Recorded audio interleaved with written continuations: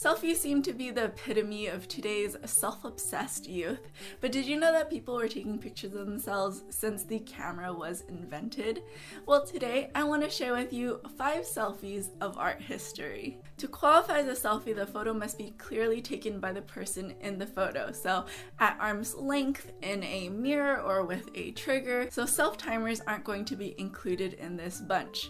Let's start off with the oldest selfie, shall we? Here is the earliest known self-portrait by Robert Cornelius. He was an American pioneer in photography and this process is called a daguerreotype. It involves polishing a sheet of silver-plated copper until it had a mirror-like finish, and then it was treated with some chemicals to make it light sensitive.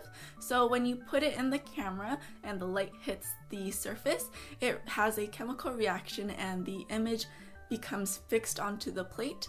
It's treated with some more chemicals so that it becomes uh, non-light sensitive so you can actually take it out. And then it's rinsed, dried, and sealed behind glass. Definitely more of an investment than our iPhone pics today. Ilse Bing was a German avant-garde and commercial photographer during the interwar era. Dubbed the Queen of Leica, she was a versatile photographer who worked in photojournalism, architectural photography, advertising, and fashion. Her work was published in Le Monde Illustré, Harper's Bazaar, and Vogue. She's known for her unexpected and daring perspectives in cropping, use of natural light and geometries. She also developed a type of solarization for negatives, a process similar to one developed by Man Ray, an American artist who spent most of his career in France and was an important contributor to Dada and Surrealist movements. Weegee was a photographer and photojournalist who worked in Manhattan as a press photographer during the 1930s and 40s. He's particularly known for his work following the city's emergency services and documenting their activity. They were unflinchingly realistic scenes of urban life, crime, injury, and death, but also the outcasts, nudists, circus performers, freaks, and street people.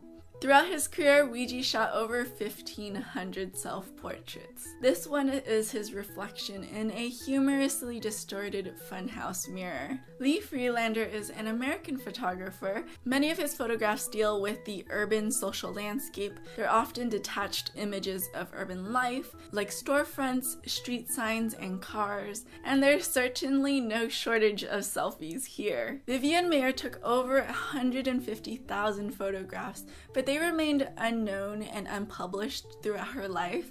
In fact, she never really showed them to anyone, and most were never even developed. She worked as a nanny but pursued photography in her spare time. Most were people and the architecture in New York City, Los Angeles, and Chicago. She traveled the world to take photographs, but near the end of her life, she struggled to make ends meet.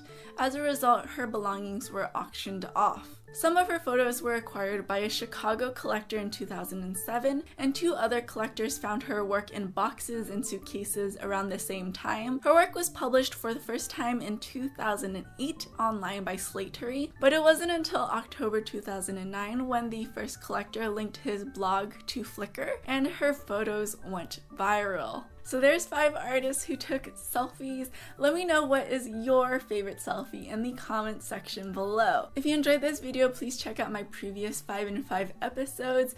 Please like and subscribe if you haven't. Thanks so much for watching and I'll see you guys next time.